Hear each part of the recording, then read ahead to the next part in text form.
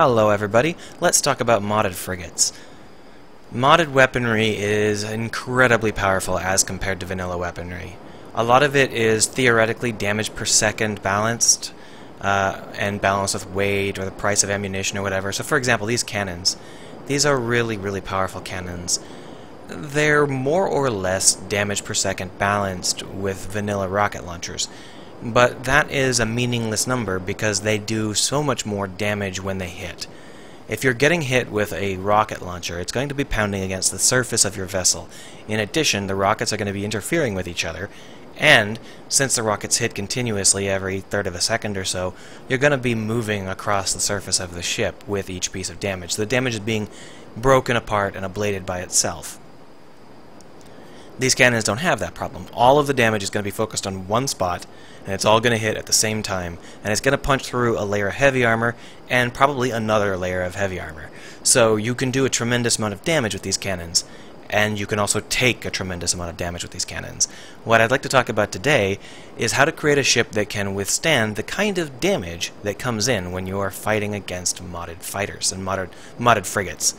Um, so the basic problem is that you're going to punch through armor like it's not there. And that means that no matter how much armor you put on your ship, it's going to go away real, real fast. Uh, and especially when it comes to your nose weapons, your nose weapons are going to get torn away in the first hit. There's no way to put enough armor on them to actually protect them from these kinds of heavy cannons.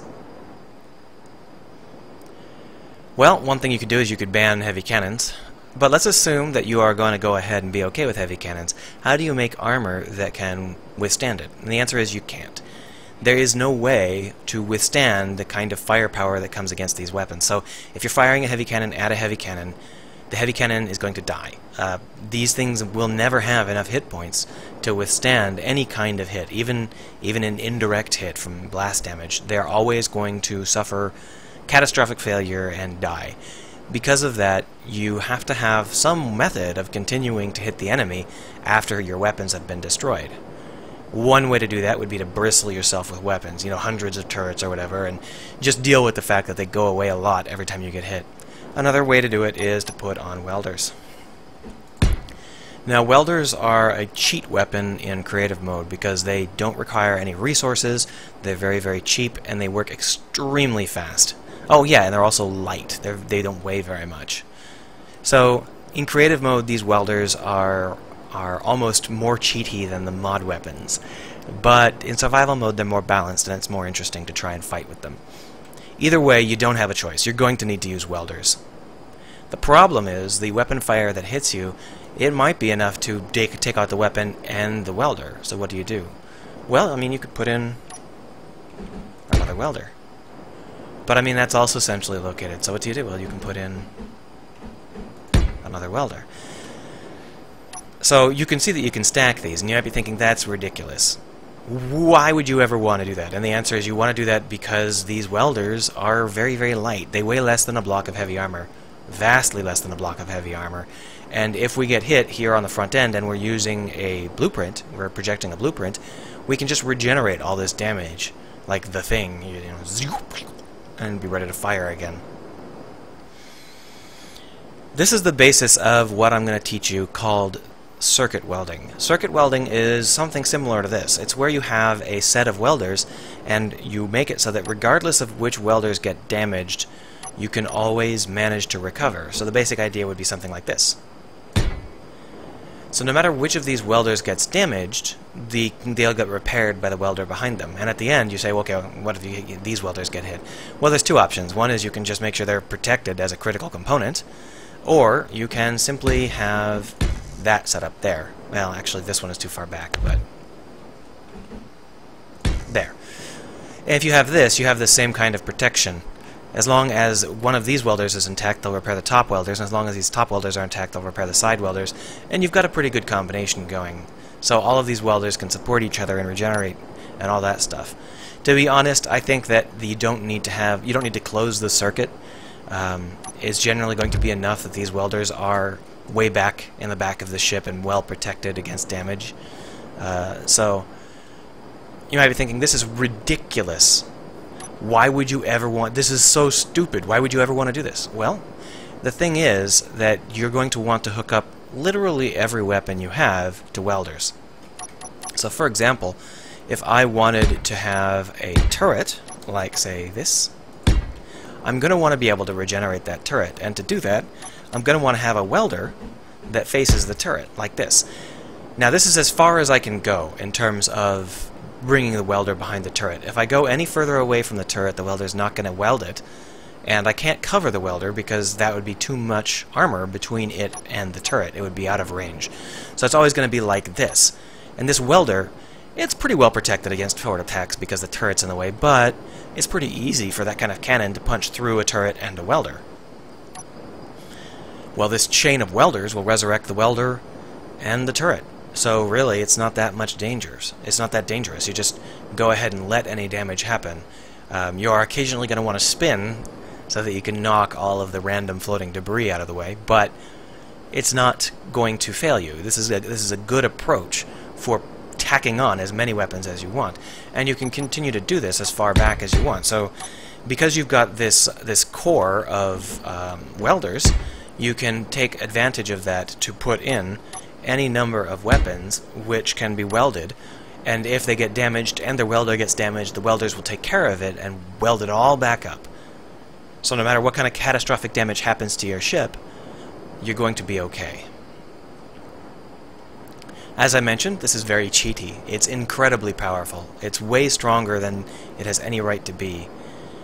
So take that into into account, and if you do this, be prepared for, for people to be annoyed with you. Uh, I know that we got annoyed at it back when I was testing it in you know vanilla frigates. Uh, I imagine that it's the really the only way to compete against modded frigates, but it's still going to get a lot of people giving you the stink eye, especially in creative mode.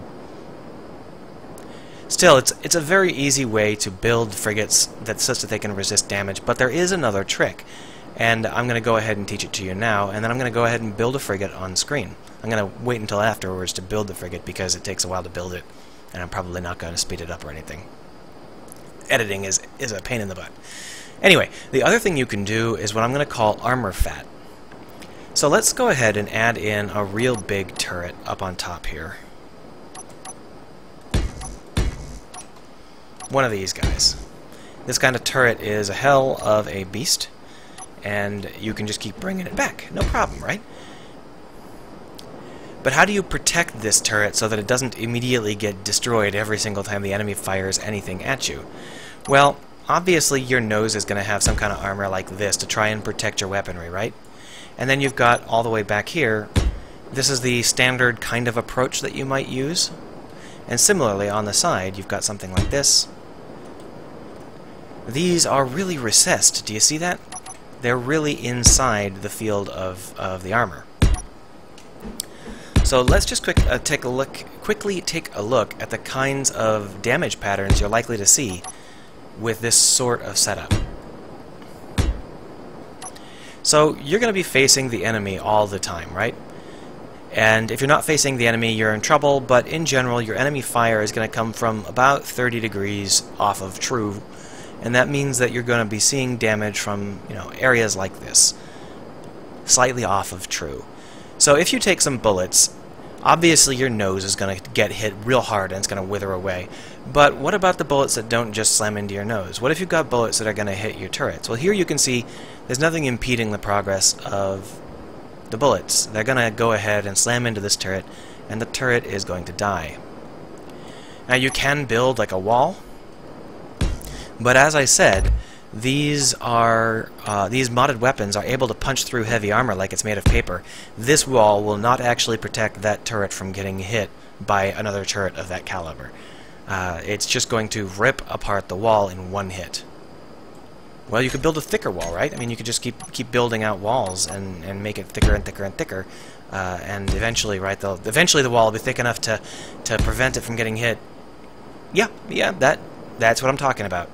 Shall I show you? I've already built one. Did you notice? Did you see me build it? Probably didn't even realize I was building it. So in contrast to this hit here, which can easily take out that turret, what about these side hits? These turrets are pretty hard to hit. I mean, you can hit them if you're off-center enough. If, if you're like firing from way over here, you can still hit the turret.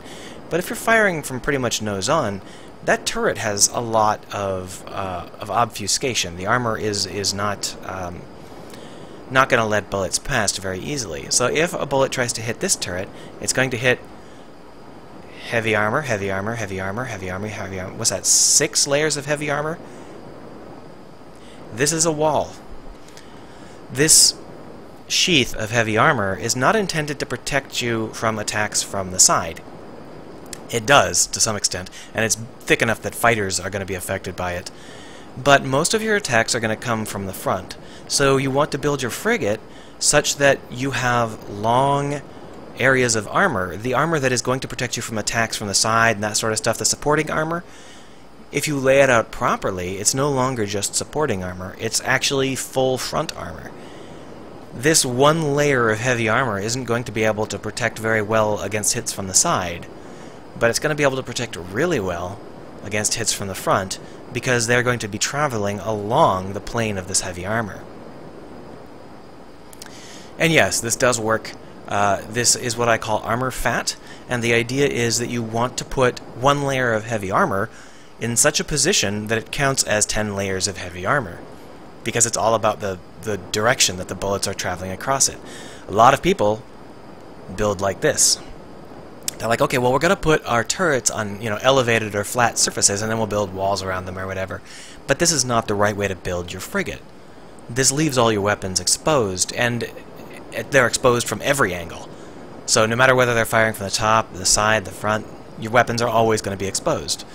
But if you understand that you're going to be firing, most of your weapons are going to become, most of your damage is going to be coming in from the front, you know, 30 degrees or so, you can build your weapon fat to protect you from that, your armor fat to protect you from that. So how would we build this turret up to have better, better fat? How would we make it more durable?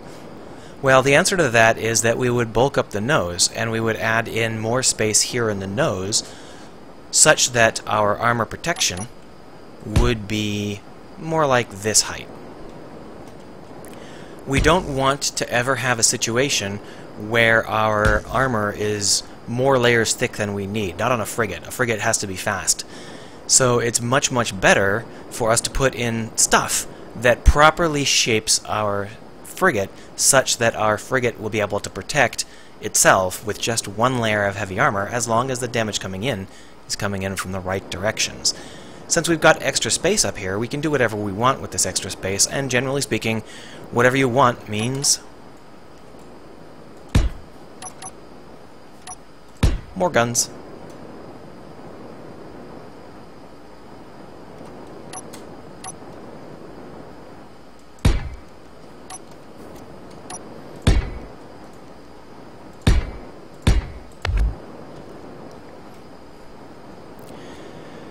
So we've built these guns up a little bit. There is this this gap Two layers of heavy armor is probably okay for the nose area. That would make a lot of sense, especially given that we are trying to have some armor fat, and this thing is three blocks high, so two blocks of armor fat would make sense. So this is not a travesty of an armor plate. This this particular layer that I've just put in is okay. It's not it's not egregious. So this is a reasonably good start to our frigate. We've got this back here protected from forward fire by these layers of armor fat. Even though this is only two layers of armor, when a weapon hits here, it's going to hit with 10 layers worth of protection. And that is absolutely vital if you're trying to shrug off these hits that can tear through dozens of layers. So how else do you want to build this frigate? Well, after this, all of the rest of the frigate is just your standard design philosophies. And it's largely up to you where do you put your engines? Where do you put your reactors? Where do you do all this stuff? I recommend that this core remains your core and you build around it just because that way you're not going to make any mistakes and accidentally delete whatever or anything like that. So for example, if we wanted to put in our reactors, we might put it in uh, like this. Mm, that would be that would be bad because that's not actually connected like this. But we have to make sure that our weapon setup leaves us with enough space to protect those reactors. Now, I can also put in cargo, and of course the cargo can be put in right here, and then you can connect the two like this. You might be wondering why I put the reactor in front of the cargo? Because we're going to be taking most of our hits from the front 30 degrees, and the reactors are a lot more exposed than the cargo containers. Well, the answer to that is we are going to be rewelding these reactors. If a cargo container gets destroyed, you are so screwed because you can't draw components out of it anymore. But if a reactor gets damaged to the part to the point where it shuts down, then you can repair it. Now, obviously, uh, if it gets shut down to the point where it, it, gets destroyed, if it actually gets blown up in combat, that's a different story because uh, then you're going to have problems with uranium floating away. But if you are just getting hit hard enough to knock it offline, repairing a, re a reactor is much, much better than trying to repair a cargo hold because the cargo hold contains the things that are needed to repair it and you can't get them out anymore.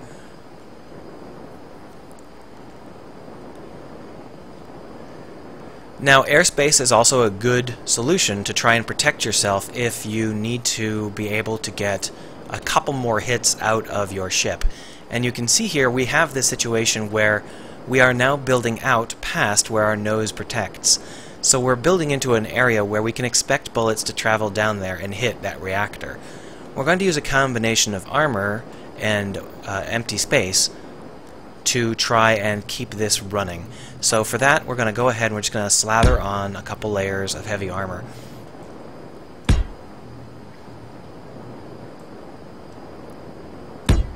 Oh, by the way, I'm into the building phase now. Now this is not going to be anywhere near enough to protect this. One layer? No way, no way. So we're going to want to do more like this, right? that will count as a little bit of armor fat. That's three layers worth of armor fat. But it's still not very good. I mean, all told, this reactor still feels really exposed to me. Just, just two hits from a cannon would take it out. So what we're going to do is we're going to build out like this. Except I used the wrong block. We're going to build out like this. And this looks very, uh, a little bit goofy, right? I mean, you've got this massive wall of armor. But here's the thing, we're going to be protecting these two blocks, these two critical blocks. We're going to be protecting them with armor fat and with and with turrets. It's going to be very hard for people to actually hit that particular spot. So having this one little ingress isn't too bad. And what we're going to do out here is we're going to protect this reactor by using a combination of empty space and engines. Because, as you might notice, I haven't put any engines in yet. We can put an engine in here, right? This is a relatively good way to put in an engine, except that in order to make this work without hitting us with backlash, we're going to have to put it in like this, and that really weakens our armor. So instead, what we're going to do is we're going to move the engine out. I guess this should be heavy armor here.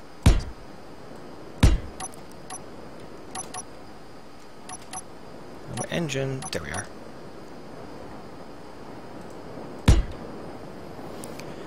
So if we do it like this, then we can do this to protect our engine, right? And, you know, if the engine gets destroyed, that's no big deal because we're going to be rewelding it. Oh, oh, did I forget to put the welders in? Yep, I don't have any welders reaching out to this engine. You've got to be a little bit careful about that sort of thing. So where are we going to put the welders for this? Well, obviously we could put a welder right here. That wouldn't be too bad. But there's nothing to repair the welder if the welder gets damaged. So where do we want to pull from our string of welders to get a welder out here? The answer is this shouldn't be that. This should be a welder, like so. And then we can pull from the main welder conduits. So we have this situation where we would like to put a welder here facing the other direction, but this chain of welders doesn't really allow for it. Well, that's no big deal. Just delete that one, put this one in. Oh my gosh, but you've broken the chain. Well, don't worry, don't worry.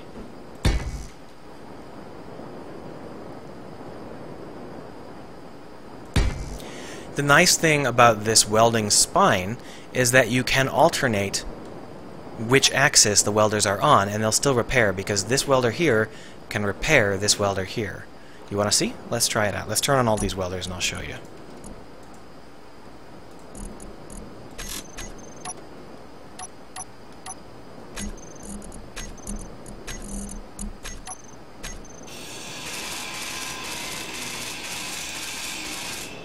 Getting repaired.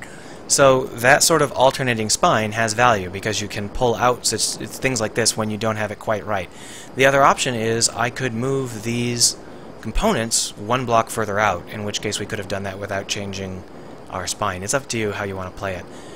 But right now what we have is a situation where we have this engine that can be brought back from death, and that's important because we're not going to protect it.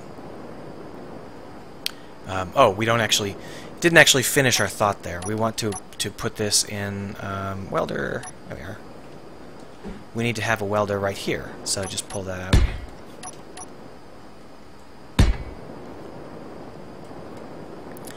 So now we are protected from this damage, you know, damage to this engine, we're like, whatever, we don't give a shit. If you destroy the heavy armor on this engine, we, we really don't care. To the extent where I think that heavy armor on this engine might be a mistake. Let me explain. With a frigate, speed is really a lot more important than anyone gives it credit for. So you want to try and keep your heavy armor in the spots where it makes the best sense. And in that in this case what we mean by that is we want our heavy armor to catch enemy fire. If enemies are not going to be hitting an area, then you don't need heavy armor there.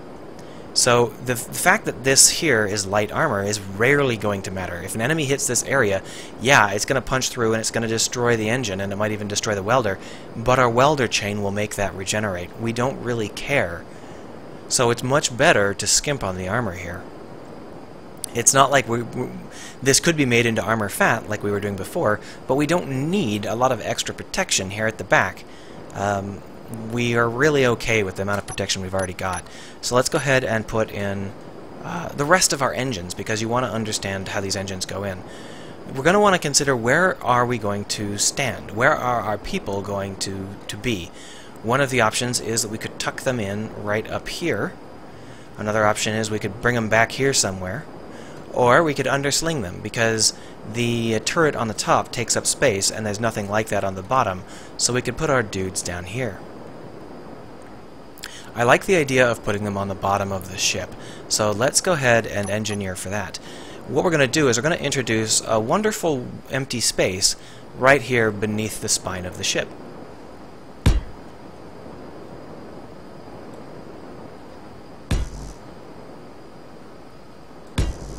Now this is one layer of heavy armor. It's probably not enough. We're probably going to have to bulk it up a little bit. But if our people are here, walking around inside the ship, then their ceiling is going to be these things. But they're going to be able to have a lot of space to play around in.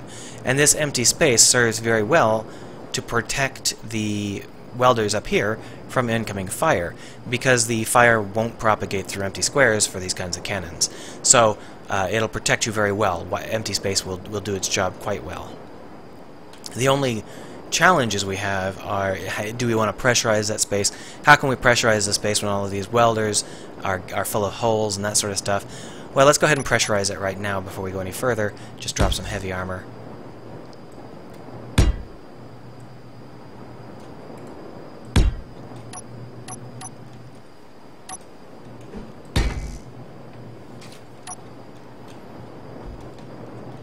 Is this space pressurizable? Not quite, but we're going to assume that this gap up here, this other air gap, is going to be pressurized. And to do that, we'll just go ahead and finish with our upper air, with our upper armor, like this.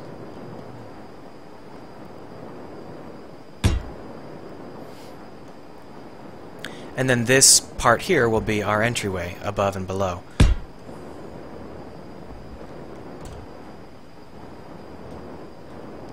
trying to get below. It's not, not easy.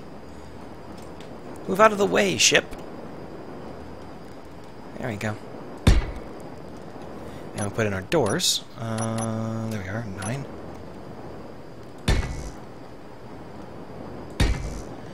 That space is now pressurized. The only issue is whether or not these welders here cause any sort of depressurization, and the answer is that they shouldn't. The welders' forks are not airtight, but the welders' bodies, I believe they are. If not, we're going to have a problem later on. But even then, we can solve it by putting in a layer of light armor. Uh, well, the other problem is we don't have any oxygen tanks. Where are we going to put those? At this point, we have to consider a little bit of things. What, our, what are our supporting systems? Uh, obviously, we're going to want some oxygen. So, something like that. Uh, I think that it, it's always good to have an oxygen generator especially in creative mode where oxygen is uh, free if you have an oxygen generator. I think that assemblers are a great idea, especially in, in survival mode. You want to have assemblers, but putting them back here is a mistake. We want these to be regenerating assemblers, and as it turns out, we've created the perfect little hole for our regenerating assemblers.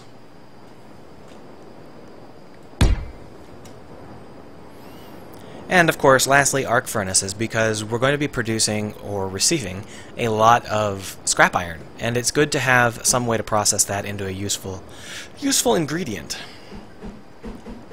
It's not something that's going to be happening in combat, so just one of those is fine. Yeah, that's within the range of a welder. Alright. Now, the oxygen and uh, ice stuff, those aren't in range of a welder. I'm, I'm not sure I care. Uh, I can extend the welding if I need to, but I don't really really want to do that. So instead, let's keep going with our, our engines. Uh, where we want to put these engines? Well, we need to have uh, two upwards and two downwards engines, but where can they fit? We could try and put them in behind this turret, maybe right right here. That seems like a, not a not too bad of an idea. Uh, but we need to be able to weld them. You might remember welding is important. So let's go ahead and put on our full mirroring for this, and we'll go ahead and just drop them here. I'm dropping them a little bit to the outside so they provide better protection for the reactor. And now we've got two engines pointed up, two engines pointed down, two engines pointed forward, and no engines pointed outwards or backwards. Let's make sure that these engines are wired into our repair system. There's nothing right now that's pointing at them. There's no, uh, no repair welder that is pointing at them. But as it turns out, there is a perfect place to put one. Do you see it? Do you see the perfect place to put the welder that needs to be pointing straight out? This is a great place for it. So if we make this into a four-way block and return this to like this, you can get this. There you go.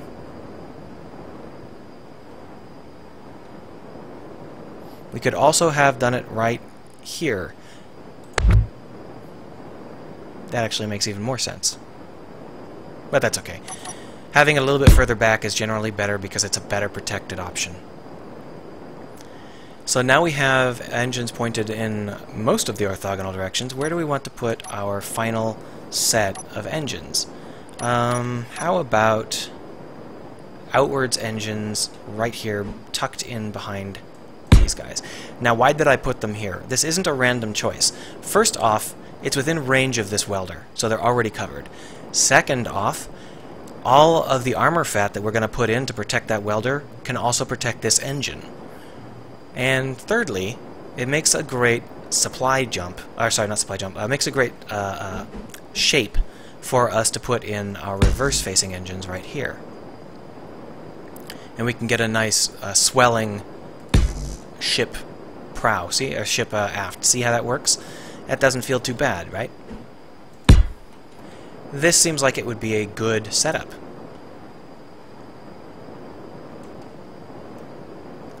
Let's go futz around with the inside.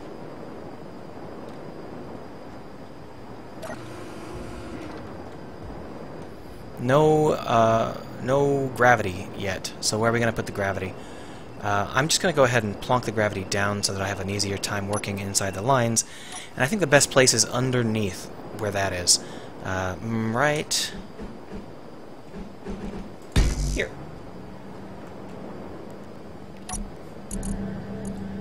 Invert it, shrink it.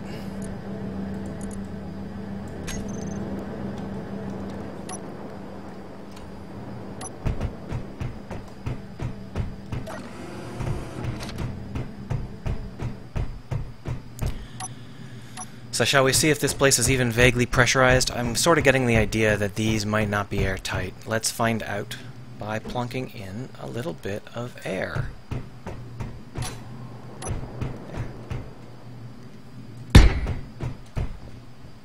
They're not. Okay. So let's go ahead and put an air vent in right in the middle and then just shape this place until that air vent is okay. I think we can just do it like this.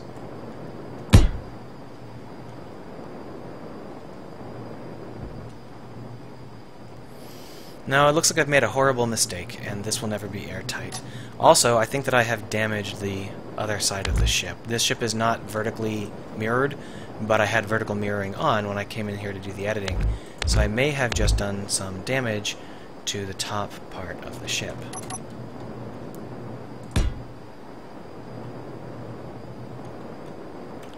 Gotta check that out and make sure I didn't, because one of the nastiest things about this approach is that you can accidentally sever large numbers of things, and they will end up really screwing you over. Um, uh, you will end up just just losing track of what's going where, and you'll have floating debris, and, and nothing will work right in survival. You want to be careful not to accidentally mirror when you don't mean to, or vice versa.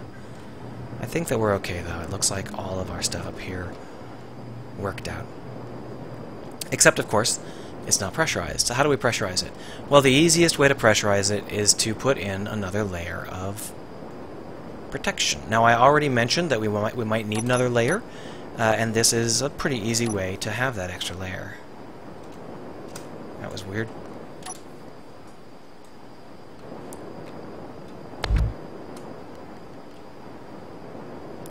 So rather than having our doorway right there, we'll move it down one spot. We'll have it right here. And then what we can do is we can put in a layer of fluff, and then we can put in a floor made of heavy.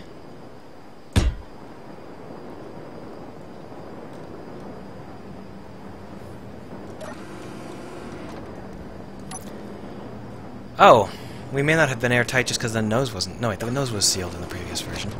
It's just not sealed now because I moved it down a spot.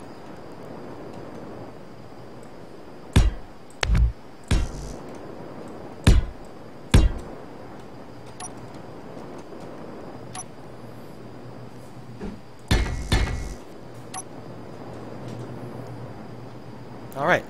Well, that's a rather blunt force way to pressurize the area, but the good news is that this is an area which is large enough for all of our needs.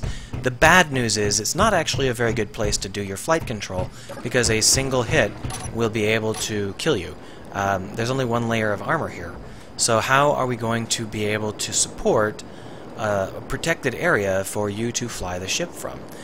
Uh, the two options for that are we can either put it out here somewhere, or we can just have a more protected part of this underbelly. And I think that that's probably a better way to do it. So let's go ahead and put in uh, a little bit of armor fat.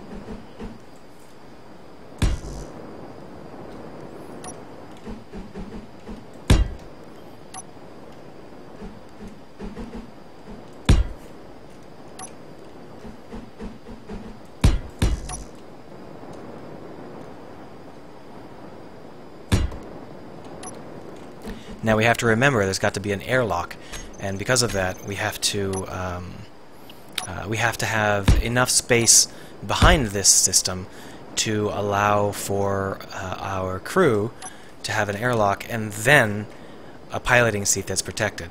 Uh, so what I'm saying is the piloting seat is going to be further forward than you might think.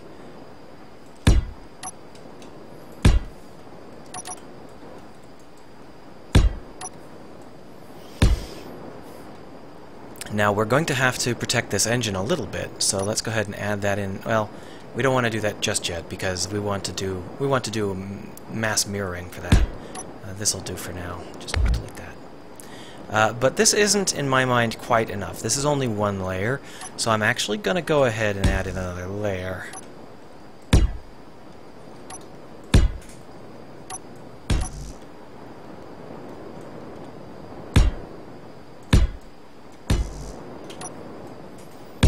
And that should be enough armor to protect us from quite a few hits. And we can just put our seat maybe here. Let's go ahead and build ourselves an airlock and see whether or not we can uh, put in... Yeah, yeah, so we'll just go ahead and drop our seats. Uh. Where's our seat? Yeah, that's good. And that should be well protected by our armor fat. Let's just take a quick look. Uh, we can drop this down. Hmm. That feels like it's one block too far forward. These are the most important things in the vehicle, so taking a little bit of time to make sure they're in the right spot is not a bad idea. Uh, what happens if we um, change this airlock to a side airlock?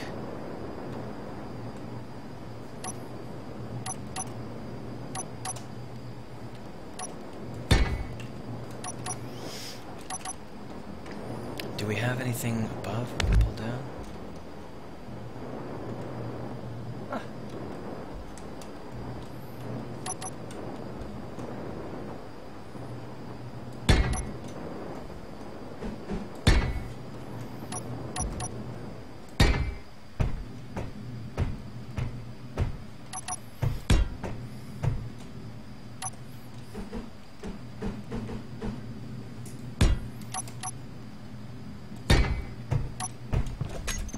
go. That's good.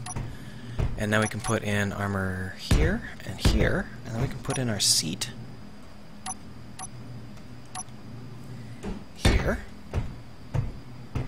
and here and here. Uh, and I really recommend having as many seats as you can manage because they tend to die. Alright, so there we are. So what are we forgetting? Well, I can tell you right now, we're actually forgetting something pretty important. No gyros. That's actually not a huge deal. Gyros are really easy to put in. Uh, you just have to make sure that you have space for them. So I've switched to flying mode just so that we can see where we might be able to put in some gyros. Hmm, where do you think we might be able to fit some gyros? This is not a very difficult question. Hmm, gyros. Where should the gyros go? So there is a question as to whether or not you should be able to repair the gyros, and I don't really care. As long as there's a couple of gyros that are covered by the repair system, I'm not that picky. But this is a good place for them. There you go, gyros. That's probably not enough gyros.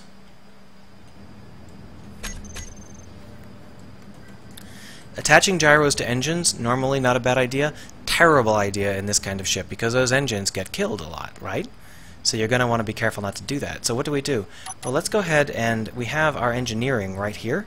What if we bring back some light armor and put in some more gyros? Because we needed to put in a little bit of armor here anyway.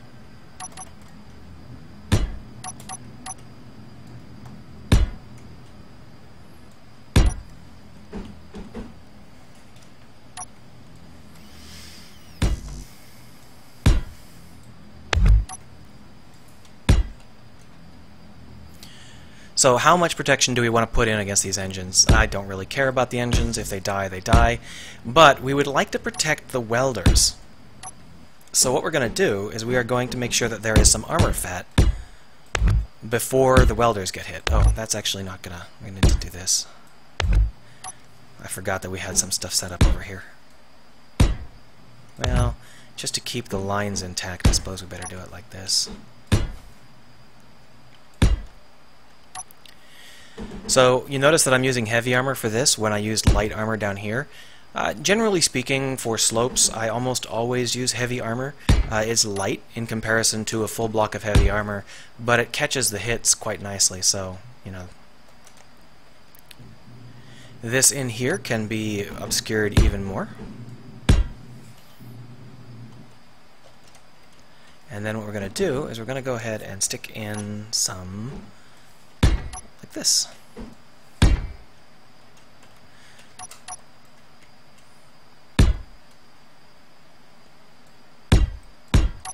Now these are just anti-fighter blocks. These aren't intended to protect your engines from a frigate, just against a fighter. Uh, and they'll do pretty well at that job.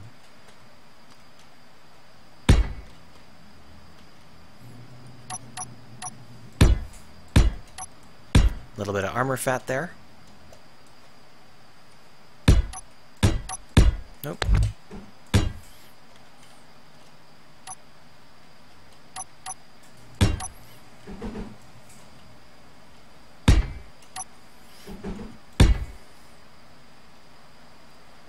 Now you might be wondering about exactly how we're going to deal with this engine. We can actually just do this. Uh, come on. like this. There's no problem with that. That kind of obscuring works great, and then we can just put in blonk, blonk, blonk. Uh, this kind of basic wall is not very good against any kind of attack, so in order to make it a little bit armor fat for free, we're going to be using, for almost free, we're going to be using this approach. Uh, these are not just decorative blocks, as you might think. Um, these blocks will catch incoming fire and make it detonate early. Now the only question is whether or not we want to fill this area in or leave it empty. There are um, a lot of things you can do here because these are intended to just catch incoming fire uh, and, and then just die. So really it doesn't matter if you fill in this gap. So you might as well fill it in with something fun, right? Let's go ahead and put in some lights.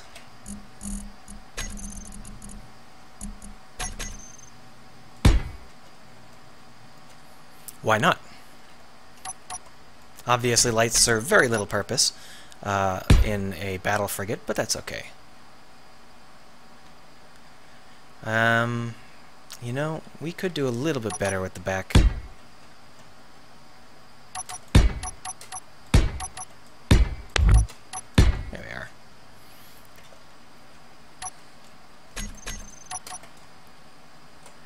So this area is a little bit more delicate because these are going to be broken free and can't be regenerated as easily and therefore I'm going to go ahead and just slap in some, some heavy armor here. But there's a better way to protect them. Can you think about it? Can you think of what that better way might be? Because there's a component we haven't put in yet. Shield, not shields, jump drives. So we can put the jump drive in here, but that would leave it uh, projecting past the edge of the engines. So putting it here makes a whole lot of sense. In fact, putting it here makes a whole lot of sense. And then we can go ahead and put a layer of heavy armor over that without feeling guilty about wasting heavy armor.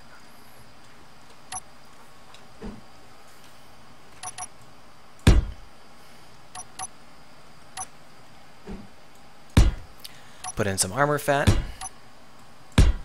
There you go. Now that armor fat isn't protecting anything, right? Eh, I haven't really decided yet. You see, we're not quite done. This area here doesn't have to be navigable. There's a door back there, but it's largely irrelevant. What happens if we uh, do this? No, that's not what I wanted to do.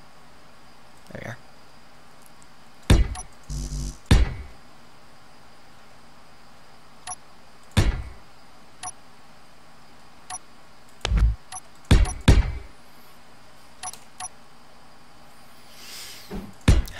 Last minute cannons. What do you think? They're going to be hard to link in to our system, right? Yeah, but we're so far back that that's okay. I don't really care if these get destroyed. So we'll just stick them in maybe... We're probably going to be taking hits from the back, so let's put them in front, like this. Yeah.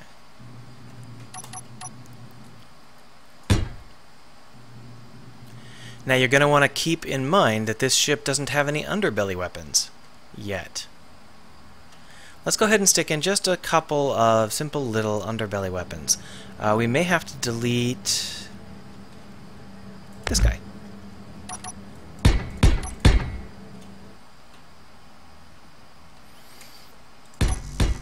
So what sort of weapon do we want to put in down here? Well, we could put in something heavy duty, but I don't think we can do that safely. So instead we're going to go ahead and put in a medium turret. And this will just be the sort of turret that'll be like, oh yeah, we killed all the turrets on that ship, and then it's going to shoot them. And they're like, oh no, we didn't kill all the... I'm making silly voices, but that happens. that happens a lot. Oh, it's no, uh, no welder intact yet. Uh, again, we can try and make this welder... Uh, part of the group, but instead we're going to just leave it uh, separate just because it's too much of a pain in the butt to put it into the circuit. Now, unfortunately, we are in... It's hard to do that kind of work um, when you don't have a light, so I'm going to go down there manually here. Alright, go back here, fall off the bottom. There we are. Notice this armor fat. Just perfect.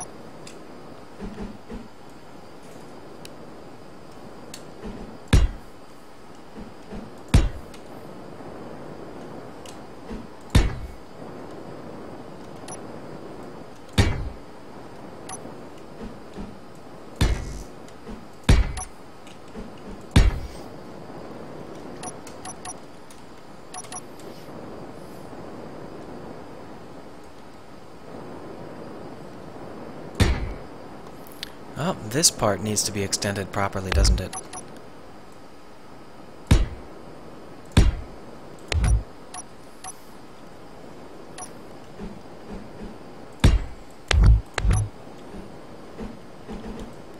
Sorry it's in the dark. Um, I know that this is not very entertaining to watch, uh, but it is uh, representative of how this stuff actually works. So let's go ahead and do this properly. There we go.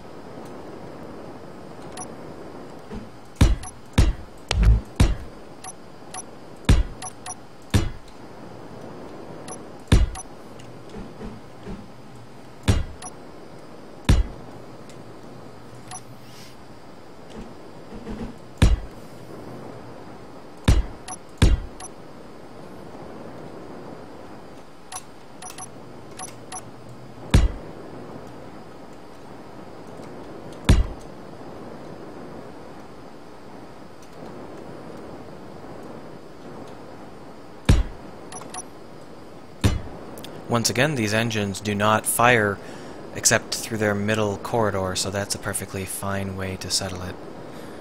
Um, yeah, that's the same on the top and the bottom, so I think that's fine. And then we'll just go ahead and put in a little bit of armor fat.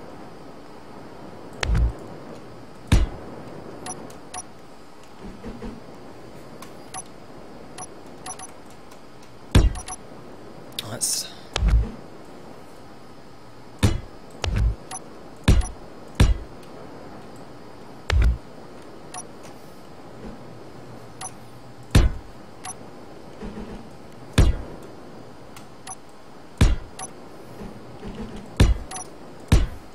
Now once again, you could do this by mirroring four ways, but I'm only mirroring two ways. It's because our top and our bottom are not symmetrical. Uh, building top and bottom symmetrical is fine, nothing wrong with that, but we, uh, we just didn't do it that way.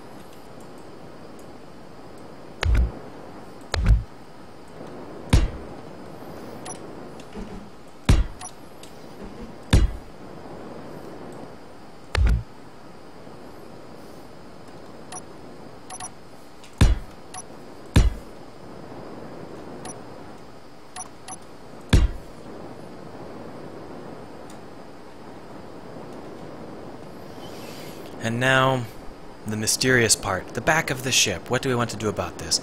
We've only got a few concerns about the back of the ship. One is we still need a docking port. Gee, I wonder wonder where we should put our docking port. Uh, what spot on the back of our ship seems like it would be good for a docking port? What do you guys think? How about right here? The other thing we need to consider is whether or not we actually have enough juice, how many batteries we have to add, and a couple of other details like that. In order to get in, we've got this rather windy path, so we can fix that up a little bit by directing it and making it seem like that's on purpose. Uh, we can put this block here and then just do this. Um, and then we would be able to kind of imply that this was all on purpose.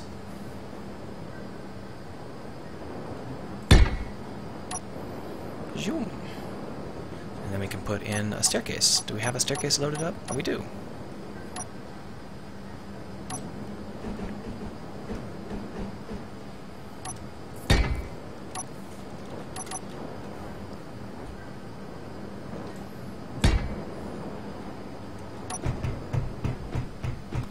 So let's see how this thing performs, and then we'll figure out what sort of tweaks we need to make last minute here. Um, our turning speed is a little sluggish for a frigate, so we're, going to want to put in a couple more gyros. Um, our front isn't actually completed yet, so we're not completely done with our weight increasing. Probably going to end up at 6,000 kilograms, maybe 6,500. Um, how is our speed? Not great, but not too bad. Uh, it's only using up 44% of our power.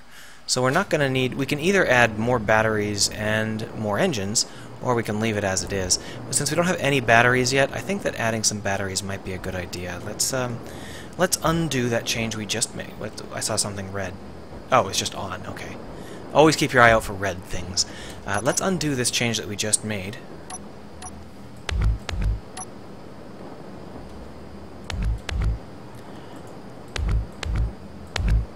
Because that was wasteful. Instead, that'll be where we put our batteries.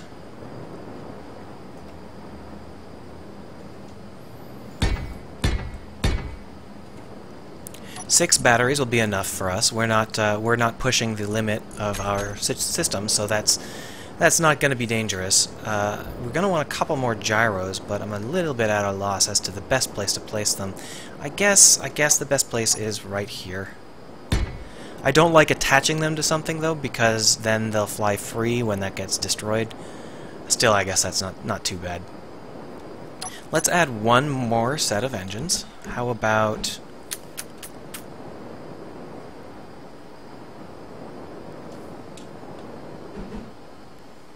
do it there. Um, this is the obvious spot for it, but then there's... Uh, you know what? Let's not add the extra engines after all. Let's just leave it as it is. Um, and let's finish off the back of this, uh, this ship.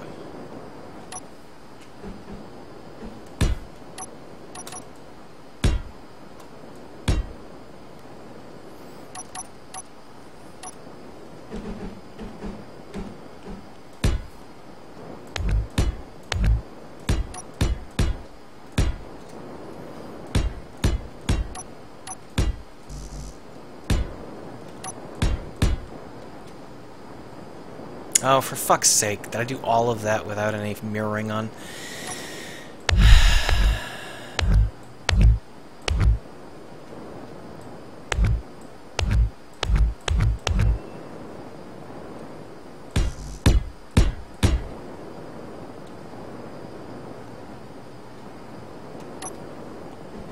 Always keep your ear open for the bzzz, because that means that you've incorrectly mirrored.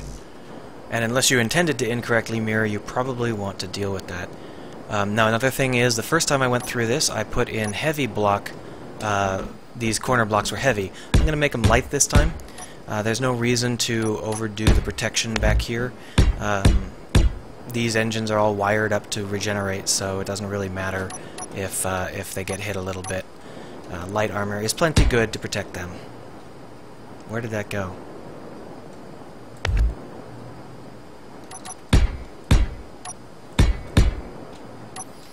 But I am making these slivers out of heavy because that's just a little bit more effective.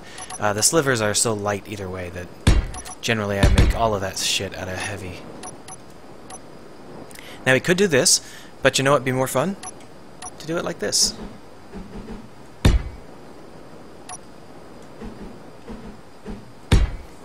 Yay! So, what sort of additional protection can we do? Well, I like the idea of bringing in this occlusion block, which I'm making entirely out of heavy. There's a couple of advantages to having it like this. The first is uh, that the engine is obviously a little bit better protected, and the second is that this is not quite so fragile. It won't break off with a single bullet from a fighter. Now we can put in this guy, and there we are. Now, is that bad? Do we do we care about that exposed area? I, I don't give a shit. If you give a shit, feel free to make a variant that doesn't doesn't uh, have a bad look to it. You know, it's all it's all about what you think is good and you think is bad. Um, and of course, building a frigate does involve figuring out how the pilot will react in various situations, and because of that, you're going to want to understand how your frigate is going to be piloted. But aside from that, a lot of it is up to your personal choice. Excuse me.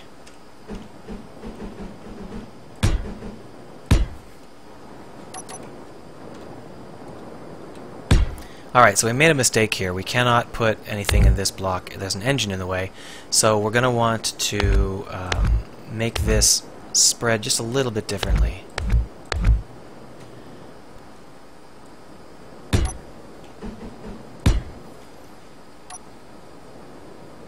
Hmm.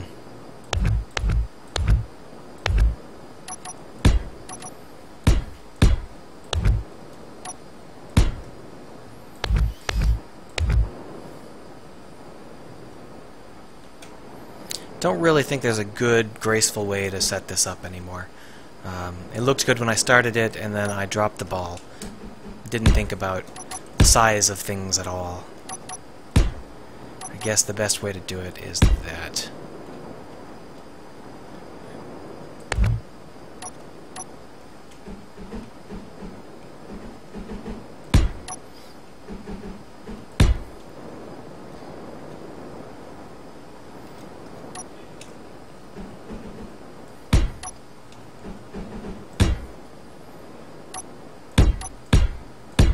Oh, okay, well that's not too bad. Uh, this back here, ugly as hell. Let's go ahead and strip it off and make it pretty. Well, slightly pretty at any rate. Um, hmm, I guess that's okay.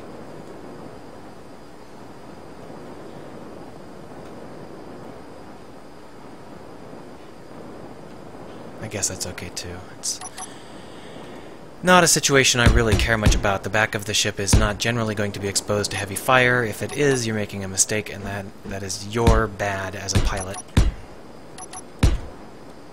Not as in you are bad, but as in you should fly it better. You know what, I can't friggin' see, so let's go and pilot this back into a vaguely uh, sun-centric direction.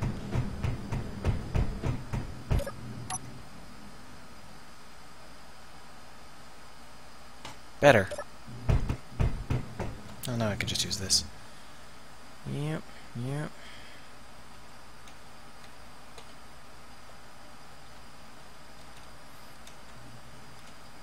Oh, this looks much more close to done now that I'm looking at it in the sun.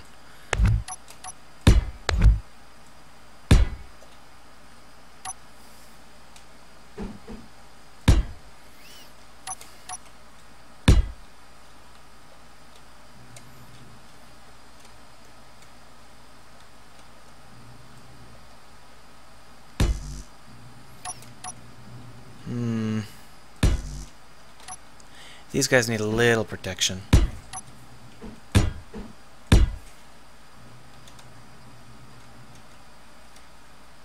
And now what's this big empty space for?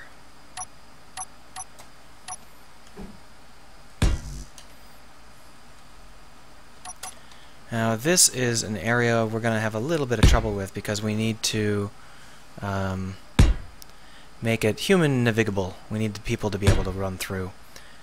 To do that, we want to make sure to block off confusing directions, but not block off the way that we want to actually go.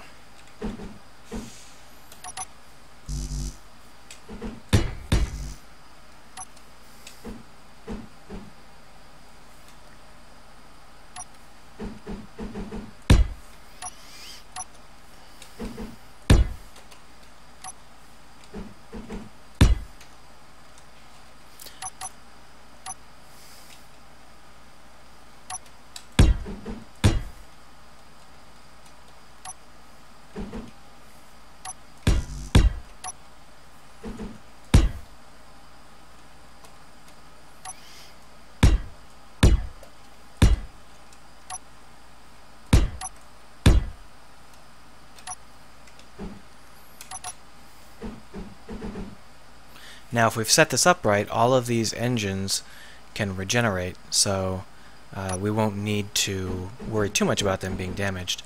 But of course we haven't tested it, and it may be that I've screwed it up somewhere, and that this whole episode has been worthless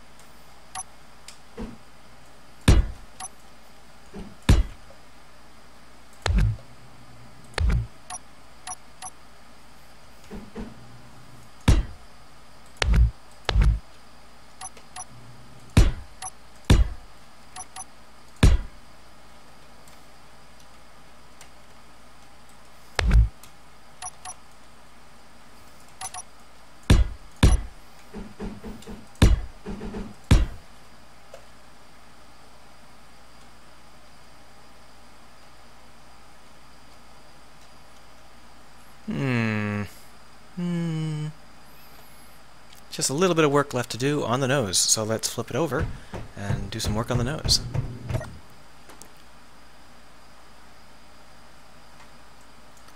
Shall we go ahead and just see how it feels to fire? Let's go ahead and just try it out. Not bad. Notice there are no saturation weapons or anything like that. I didn't put on any AC cannons to try and take out the fighters. This is a ship which is uh, a little bit difficult for it to take on fighters, but it does have a large number of anti-fighter turrets, and you can you can use those to try and get a little bit of an advantage. Uh, you're definitely going to want to be careful of fighters, though, because these guns are not going to do jack to fighters. You're not going to ever be able to hit them. We could put in a couple of little ACs. Uh, there is a spot for them. Let's go ahead and put in a little, a few little ACs.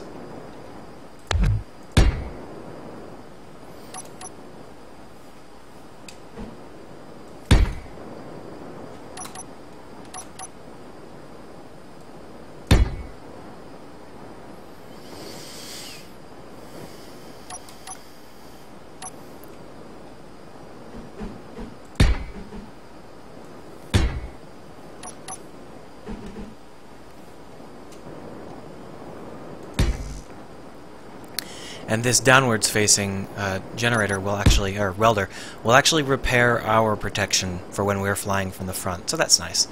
So now we've got just a couple of little autocannons to try and help us hit fighters, and that should be enough for our purposes.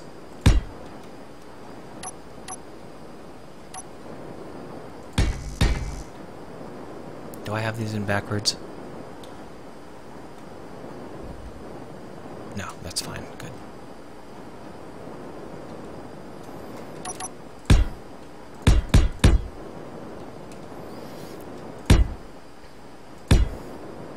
Teach you one more little trick.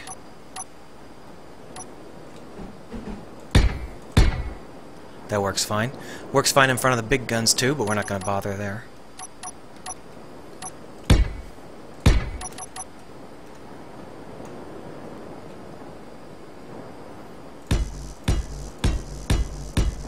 That grinding is fine, the grumping, because we're not actually doing it in a way which matters. That's fine. It's all good. Now this area, we just want it to be fat. We don't actually want it to provide heavy armor protection. We want it to provide... Uh, if you're getting shot at from below, that's a serious issue, and you need to stop getting shot at from below. But if you're getting shot at, shot at from straight ahead, we want to provide some armor fat, so that's what we're doing right now.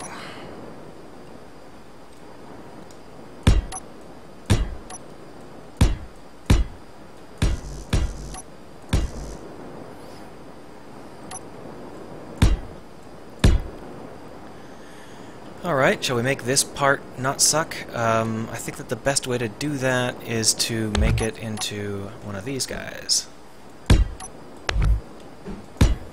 Because then we can make it into one of these guys. And then we can just run down the side with this guy. Shoop. And this guy can be one of these guys.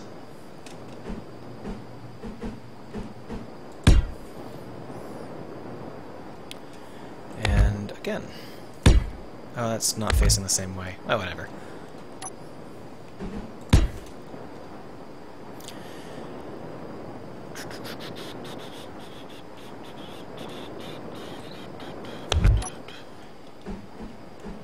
So I'm replacing these with a lot thinner armor, and you might be thinking, oh my gosh, aren't you taking too much armor away from the nose? Uh, maybe. It's hard for it's hard to tell. Um, the thing is that the nose's primary purpose is to uh, just be there to get hit, and if the guns get damaged, they're going to regenerate. So it's okay if the nose is a little bit frail, because it's intended to regenerate. The question is, how frail is too frail? Could I make the whole ship out of light armor?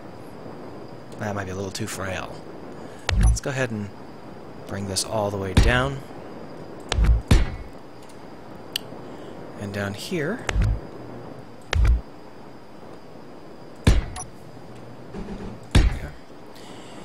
and now that will give us just a little bit of protection from the side in case something goes catastrophically wrong. Now what sort of armor fat do we want this armor fat to be? Let's armor fat our armor fat with armor fat.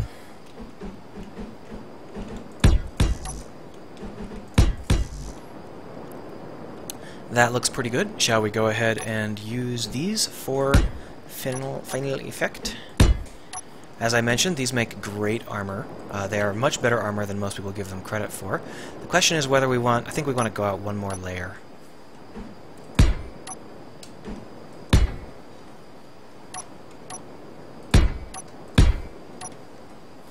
Yeah, that looks better.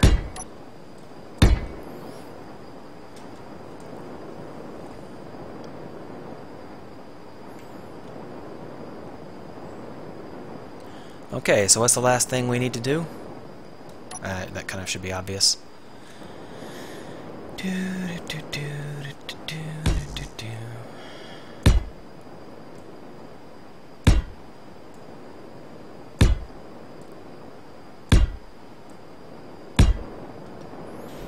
That's more or less right. Okay, so let's go and turn on our welders, and then we will clone this ship, move it along, and uh, fire at it a couple times and see how well it holds up. I'll do the painting and stuff on my own time. Don't need to waste your time on that.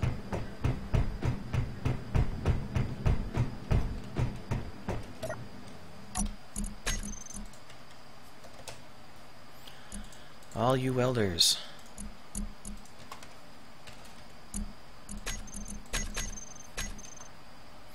Now we don't have any blueprints for this, so we should go ahead and take a blue... Oh wait, we don't have any blueprint um, projectors. Let's go ahead and put in a projector. Projector.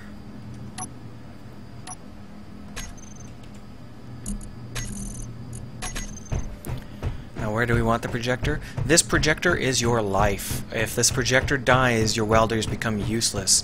So you should put your projector somewhere very, very secure. Um...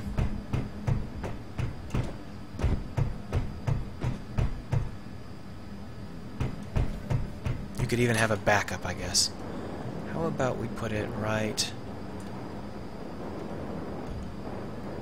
there. And now what we're going to do is we're going to copy this, create it, and then we're going to go load it into our projector. Now we haven't actually finished this yet, so there's a couple more things we're going to have to do later, and we're going to have to load it up again. But since it's going to be the same size with the same anchor, uh, loading up new versions is, is much simpler than loading up the very first one. So the only large ship in stock should be the one we want. L is for large ship. Ah, it's not that one, it's this one. And you can see that we're not off by much. We just happen to have put the projector very close to um, where the actual ship is.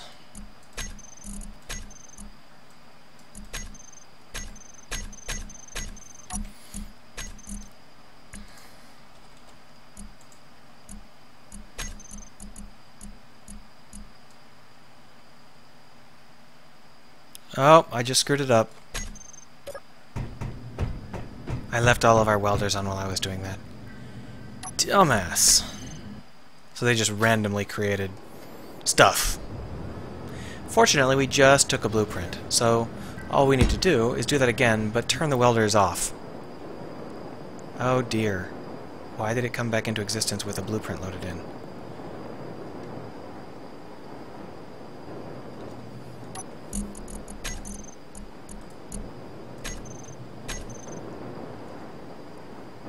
That doesn't make any sense. Why did it have a blueprint loaded in when we loaded it back up? Well, hell, oh, because I deleted it. Um, just being stupid. Let's delete this guy. Don't need him.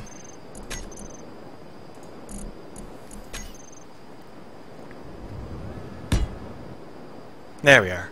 That's more like it. Press Control X and you actually copy it to the clipboard. I forgot about that.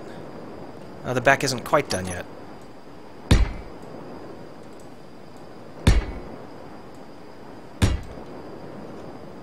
There, now it's done. More or less. I can spend all day polishing this stuff to make it look a little bit less crumpy, but um, all told, we're almost ready. All we need to do is turn off the welders, Go into the projector. Load up that large ship blueprint.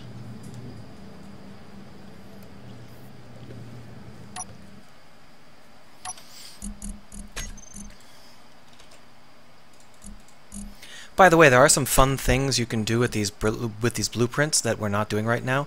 For example, you can um, uh, you can make these switch out which blueprint you're using so that when a weapon is damaged, it regenerates as a different weapon. Um, I haven't really figured out any use for that yet, but it's really neat to think about.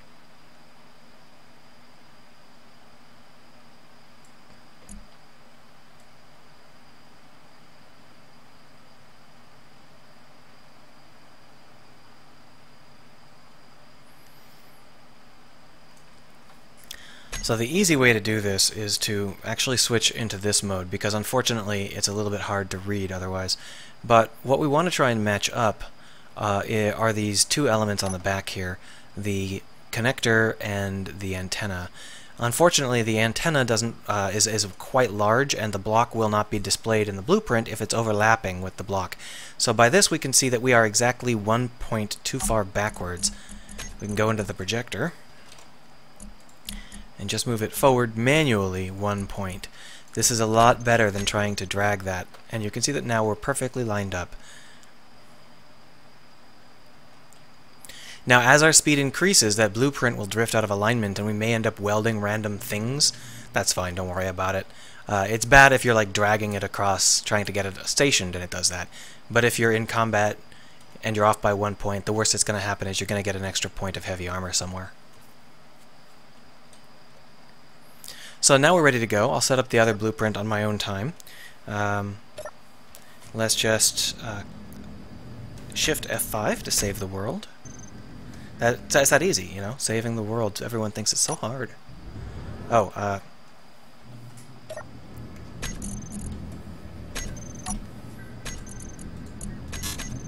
Turn that on, and then we're going to blow it up and see what sort of damage it can take. And then we're going to go ahead and blow up the rest of the ships and see what sort of damage they can take. Oh, I guess I should point it at the sun so we can see it, huh?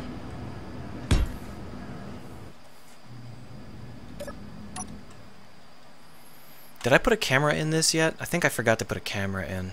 Wow. Retrofit in a couple of cameras, not a big deal.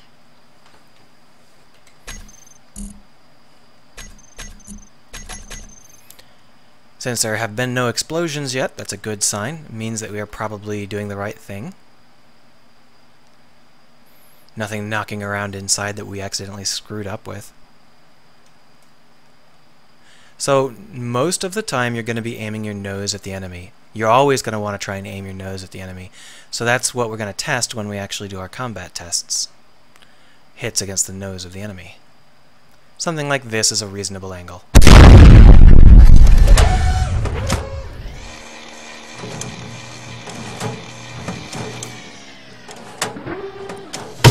So when I said that the cannons would tear through heavy armor like it was nothing, I wasn't kidding. As you can see, we lost a massive amount of heavy armor all throughout the ship.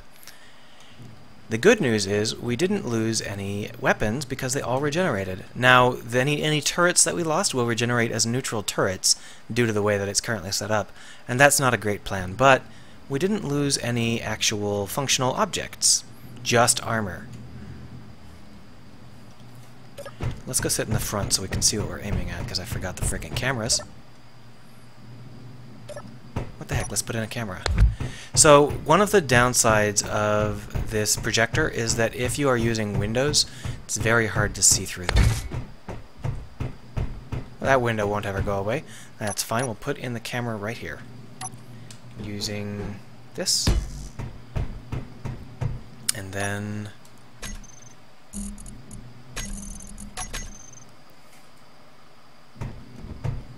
had it for a second.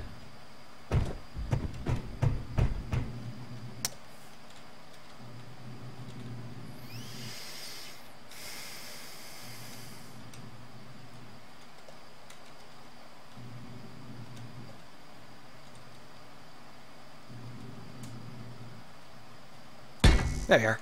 Camera.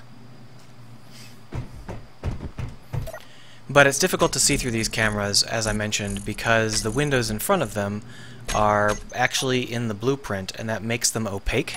So until they fix that, you're going to have to have external cameras, or you're going to have to plan your windows differently. Uh, for our sake, I think external cameras are a good option. Let's go ahead and slap down a camera right in the middle. We could protect it, but I don't really care. Uh, and uh, let's go ahead and slap down some cameras on the edges. And again, we could protect them, but I don't really care.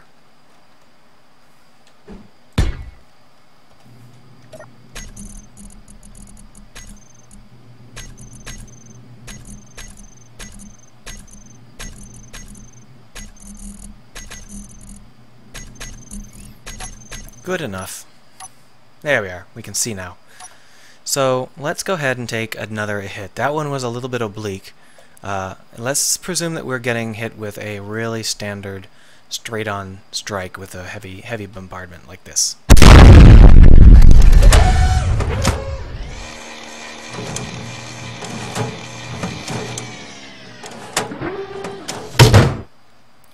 You can see that we took some damage to some cannons, and it doesn't appear that they've come back. Now the welders are still in place, but they're not welding the cannons, um, and that might be because we placed them wrong. Yep, we forgot to put a welder in right there. There needs to be another welder. Let's go ahead and add that to ours.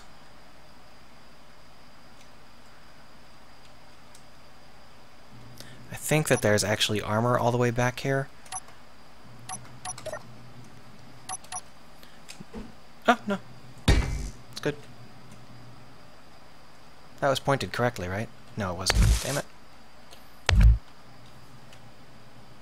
I guess it doesn't matter which way it's pointed. It's all good. Alright.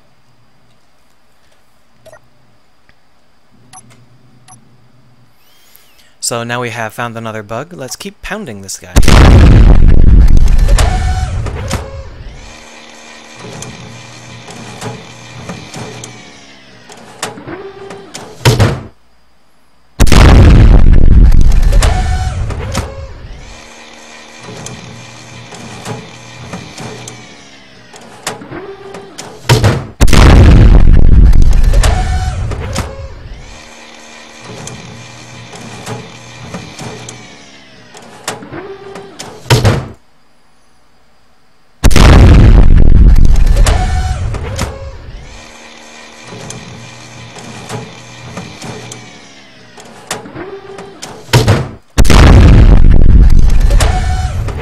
So you can see what I was talking about. In terms of both the fat and the and the welders, this is how you should do it. We haven't actually destroyed that. I don't even think that one's been regenerated yet because the fat has been doing a great job of protecting it. But there, even when we did destroy it, it comes right back because of the welders.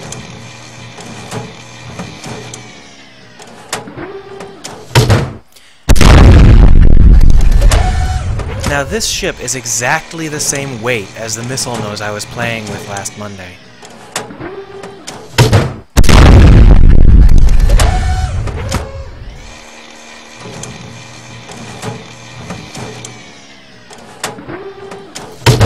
Not only is it the same weight, it's the same basic configuration. So this is a much, much better ship. But the only reason I built it is because we're using modded weapons, and I knew that with modded weapons we were going to have a lot of problems with my earlier setups. Uh, it's no good to have um, modded weapons will blow away a standard a standard frigate, so I knew I had to up my game. So I did.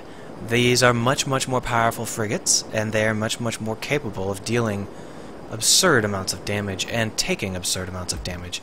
So I think we're still going to have to go in through our um, can we can creep in through here? Yeah, there we are. So you can see, we didn't even lose any command seats, although we came pretty close. So how are we for operations? We are literally undamaged. The only thing that matters is our uh, missing armor, and we don't really care about that.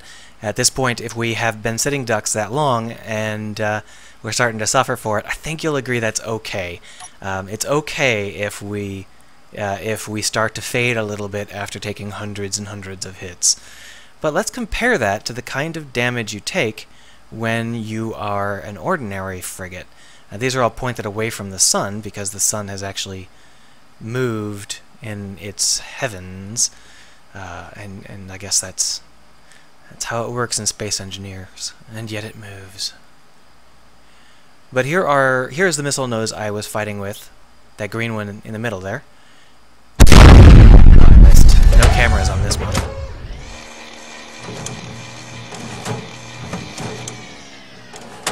Let's quick save, just in case I do something stupid.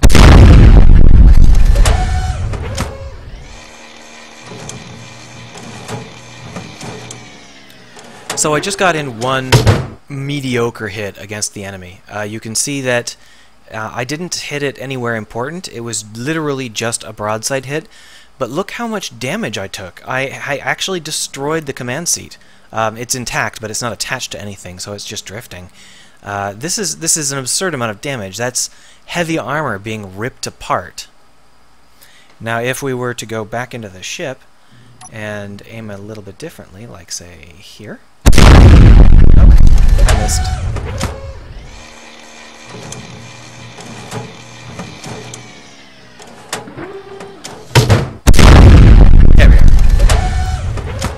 This is a sort of hit you might expect to reasonably take, a direct hit on the front of your ship.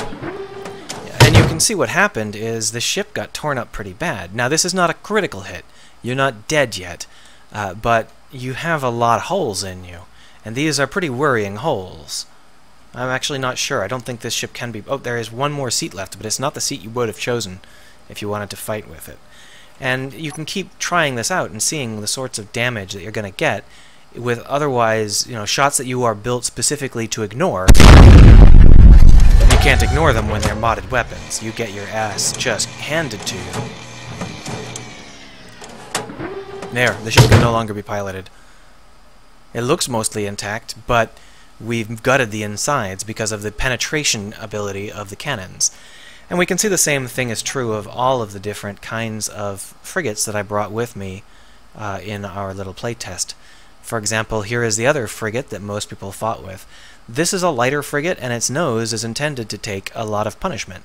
So it has a lot of missiles on its nose interwoven with heavy armor, and the idea is uh, that, that that can absorb an incredible amount of punishment. Shall we see whether it can absorb an incredible amount of punishment?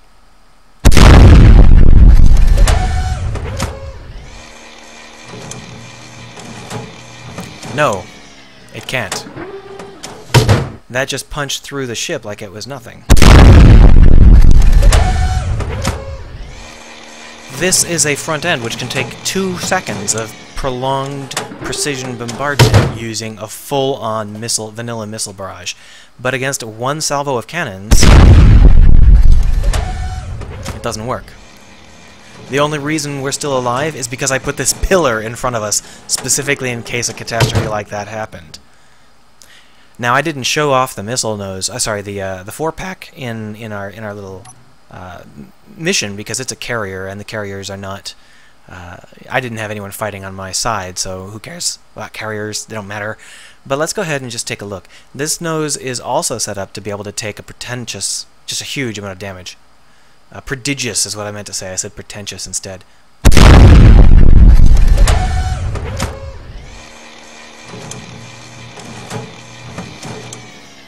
This is all heavy armor. This is all was heavy armor, and now it's gone.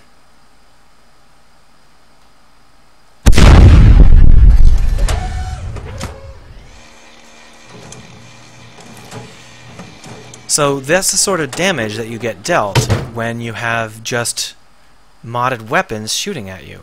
Look at this. We actually lost critical components from a glancing blow. So you've got to really worry about that, and the way that you deal with that is you use regenerating gear and you use armor fat. And then you get something like this, which is still basically completely intact, even though it has been torn apart by 10 times as many hit as we threw against the, uh, the test ships that I brought with me the other day. Of course, that's all in creative. In survival, things get a lot more interesting, because you've got to actually pay for the things you regenerate. I hope you enjoyed this little demo. Um, and if there is a lot of call for it, I'll make this this, uh, frigate public. I'll just go ahead and upload it. Uh, but I do have to finish it if I want to do that, so I'll only do that if there's interest.